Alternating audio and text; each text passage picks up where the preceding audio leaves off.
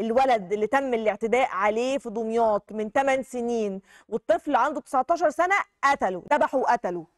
ف آه، آه، دلوقتي الراجل ده كبر ما بقاش طفل ما بقاش عنده 19 سنة بقى كبير بقى راجل كبير. فهيتحاكم إزاي؟ إيه اللي هيحصل معاه؟ دكتور مصطفى. مساء الخير يا فندم أسعد الله اوقاتك بكل خير. مساء النور. دلوقتي عندنا جريمة هزت ال social media على مدار الكام يوم اللي فاتوا. تمام؟ ولد عنده 19 سنة من 8 سنين اعتدى على طفل عنده خمس سنين وقتله ودفنه كمان. لقوا الولد ده بعد 8 سنين لقوا الجثة بعد 8 سنين طبعا بعد ما أهله يعني ربنا يعينهم يا رب على اللي هم فيه. لقوا الجثة والولد اللي كان عنده 19 سنة دلوقتي بقى كبير وراح سافر السعودية اشتغل. الثمان سنين دول ورجع في نفس الوقت اللي لقوا فيه جثة الطفل سبحان الله. هنا بقى الولد ده يتحاكم إزاي؟ محاكمته تبقى إزاي؟ آه، نظم المشرع المصري إجراءات تقاضي في مثل هذه الحالات حتى لا يفلت الجاني بجريمته. ويطبق قانون العقوبات بنصوصه المنظمة ولا يطبق قانون الطفل على المجرم لأن حضرتك تفضلت وقلت إن المتهم لما ارتكب الواقعة كان عنده 19 سنة النهارده عنده 27 آه. سن الطفل عندنا 18 سنة فاقل 18 سنة ويوم يعامل معاملة البالغ وتطبق أحكام نصوص قانون العقوبات. والفعل القتل الذي إذا ارتبط بجناية هتك العرض أو هتك العرض إذا ارتبطت بجناية القتل عاقب المشرع عليها بعقوبة واحدة هي الإعدام. أيوه بس أنا عايزة اتأكدوا لي من سنه يا جماعة آه، وقت ال- الجريمة من فضلكم. أنا عارفة إنه 19 سنة بس اتأكدوا لي برضو عشان أبقى متأكدة. يعني 19 سنة يتحاكم عادي بالغ خلاص. ونص المشرع المصري عليها في المادة 234 فقرة 2 حتى لو ما. تمش اكتشاف الواقع غير دلوقتي بعد 8 سنوات.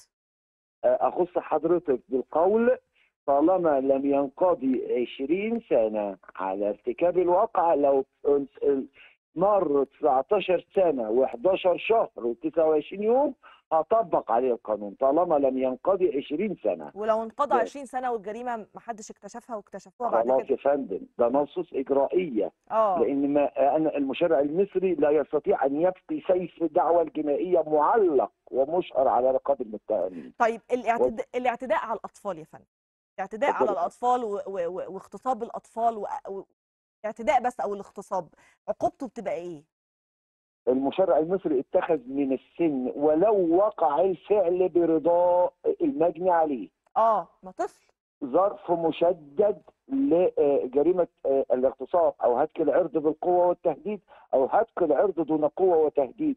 وأذكر حضر حضرتك ومستمعينك الكرام بالواقعه التي حدثت في المعادي من آه. سنة وعاقبت. محكمة جنايات القاهرة بالسجن المشدد لمدة عشر سنوات. بس هو ما خدش ساعتها إعدام صح؟ خد سجن مشدد. ما هو ما فيش إعدام ما فيها ما آه ما كانش فيه اعتداء كامل. المادة الماده 268 يا فندم بتقول كل من هتك عرض ياخد 15 سنة سجن مشدد. إذا وقع الفعل إذا وقع الفعل حضرتك على طفل أقل من 18 سنة بقوة وإكراه بتكون العقوبة من لا تقل عن سبعة ولا تزيد عن 15 أما إذا وقع الفعل من متولي الرقابة أو المتابعة أو الواصي أو القيم أو المدرس أو ايا ما يكون من ذو سلطة على الطفل ويكون الطفل أقل من 18 سنة ترتقي العقوبة للمؤبد. دي في حالة الاغتصاب. آه.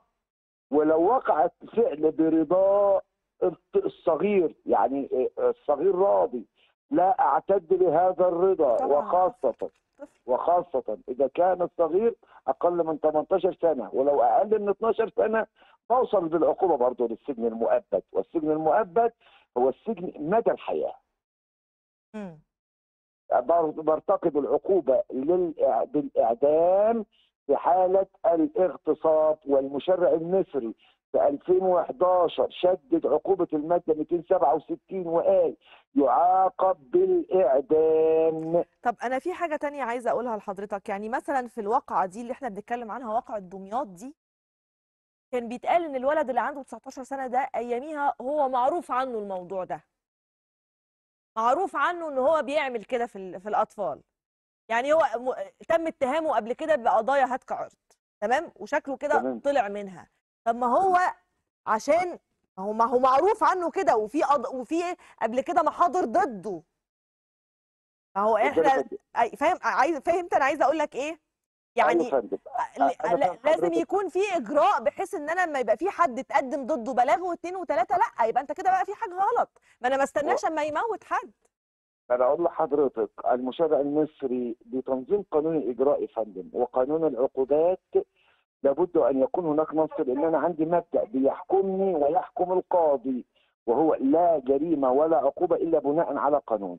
لا أقول لحضرتك المشرع المصري لا يعتد بالقضايا السابقة إلا إذا صدر فيها حكم بالإدانة آه. وبعتبرها حالة عود. لكن إذا صدر حكم بالبراءة بيبقى ناصع المتهم ناصع البياض لأنه حكم قضائي. والحكم القضائي كما قلت لحضرتك هو عنوان للحقيقة اللي لم يكن الحقيقة بذاتها لكن عاد المتهم وارتكب جريمة هتك عرض وحتى لا تكتشف جريمته قتل المجني عليه أنا ماليش دعوة بنصوص هتك العرض هنا يا فندم. أنا بروح لنصوص جريمة القتل المادة 234 فقرة 2 والتي عاقبت بالإعدام وجوبي. ولا يستطيع القاضي تبديل هذه العقوبة إلا آه، آه، وفق حالات خاصة آه، وفق ظروف الدعوة. إذا قرر استعمال المادة 17 وعشان حضرتك ومستمعينك الكرام لا أخوض بكم في جدل قانوني النص يقول آه، وقعت جريمة القتل وارتبطت بجناية أخرى كهتك العرض أو الاغتصاب أو ما شابه ذلك لا يا فندم العقوبة في التشريع المصري الإعدام. أيوه. طيب كويس عشان الناس برضو تبقى عارفة وفاهمة. دكتور مصطفى السعداوي أستاذ القانون بشكرك جدا على المداخلة وعلى المعلومات المهمة. عايزة أقول إيه في النهاية؟ إنه الحاجات ال- ال- اللي أنا بشوفها دي أنا بشوف إن دي جرائم آه، عنيفة جدا وجرائم استثنائية. عايزه سرعة حكم استثنائي عشان يكونوا عبرة لغيرهم عشان اللي يتعدى على طفل بالشكل ده واللي يأذي طفل بالشكل ده واللي هو حتى لو الطفل يعني ما- ما ما ماتش ساب له علامة سودة طول حياته. مش هيعرف يخلص منها بسهولة. شوهه شوه له نفسيته وقتل له طفولته. هو قتل طفولته. فيعني سرعة الإجراءات ويحصل الحكم بسرعة عشان يكون عبرة لغيره عبرة لغيره وعبره لأي شخص يفكر إن هو يأذي طفل. وأخيرا هقول لكم يبقى من أقرب الناس لينا والله. خلي بالكم أرجوكم من أقرب الناس ناس لا يمكن تتخيلوها أو تتوقعوها. ممكن تكون قريبة منك جدا وبتعمل كده.